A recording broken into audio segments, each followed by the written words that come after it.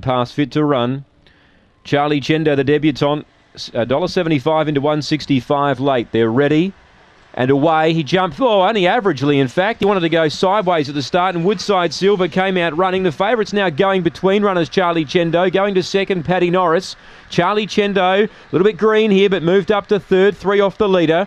Fourth placing Macca's Victor Remen. Last is Stormy Moment. They race down the back. Woodside Silver. Haven't seen her in front before. She led by two. Charlie Chendo is now starting to switch on and run on. Oh, a bump with the leader. And Macca's Victor M's coming between them. And on the inside, Paddy Norris. Wow, I'm late over the top Stormy Moment.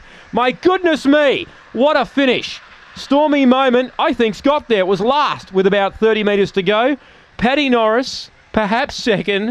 Uh, Macca's Victor Remen a photo with Woodside Silver and Charlie Chendo, who bumped into Woodside Silver at the home corner, has run last of the five. Have you ever seen a race like that?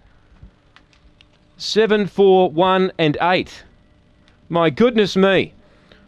Stormy Moment was going to run last with 10 metres to go, and it's won. Can you believe it?